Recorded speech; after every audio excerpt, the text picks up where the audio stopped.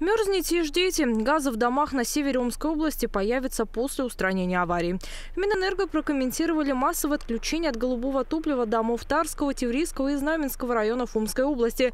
Причиной тому стала аварийная ситуация. В газопроводе упало давление. Начать проводить ремонт планировалось утром 13 декабря. По информации ведомства, некоторым абонентам газоснабжение уже восстановили. Кроме того, как сообщают в пресс-службе Минэнерго, проведены рабочие совещания с главами трех районов по готовности альтернатив альтернативных источников теплоснабжения населения. Стоит отметить, отключение тепла в домах на севере Омской области происходит уже не первый год. Минувшей зимой в морозы на Теврийском газоконденсатном месторождении снизилось давление на устье скважин. В результате без газа остались 670 абонентов компании «Теврис нефтьгаз». В северных районах объявили режим повышенной готовности и разработали график перевода на альтернативные источники теплоснабжения.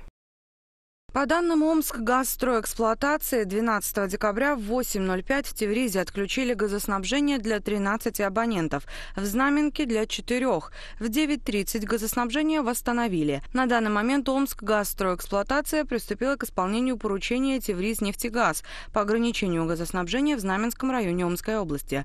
После устранения аварийной ситуации и окончания ремонта скважины номер 6 поставка газа потребителям будет возобновлена в полном объеме.